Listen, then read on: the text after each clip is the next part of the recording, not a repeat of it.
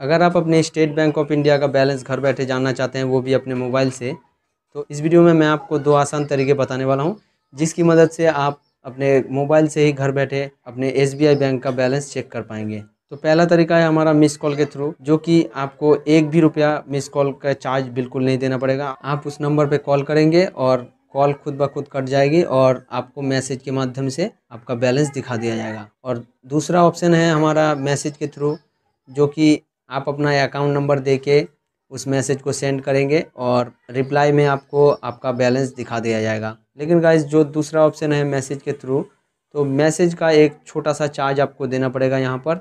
एक से डेढ़ रुपये मैसेज का चार्ज लगेगा। आप बड़ी आसानी से अपना बैलेंस चेक कर पाएँगे घर बैठे।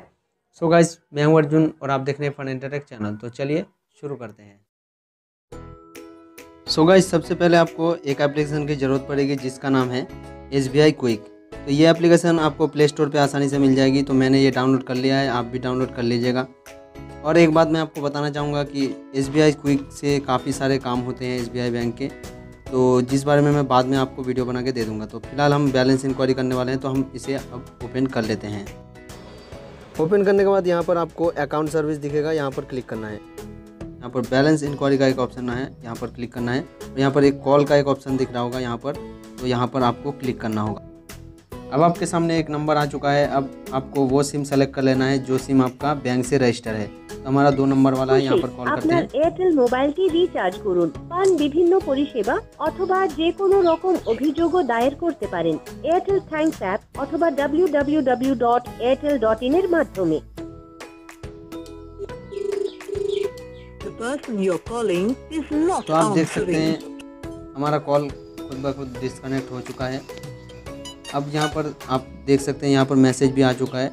हम मैसेज देखते हैं। तो ये देखिए हमारा एक सौ आठ रुपये चालीस पैसे यहाँ पर शो कर रहे हैं। अब हमारा दूसरा ट्रिक जो कि है मैसेज के थ्रू वो चेक करते हैं हम। तो हम फिर से चले जाएँगे अपने एस बी आई एप्लीकेशन में। अब यहाँ पर फिर से हम अकाउंट सर्विस पे क्लिक कर देंगे। और यहाँ पर फिर से बैलेंस इंक्वायरी के सामने यहाँ पर कॉल के ऑप्शन के पास मैसेज का ऑप्शन दिख रहा होगा आपको। यहाँ पर आपको क्लिक करना है। यहाँ पर क्लिक करते ही आपको कुछ नहीं करना है। ये बी एल के पास आपको एक स्पेस देना है और अपना फुल अकाउंट नंबर यहाँ पर डाल देना है।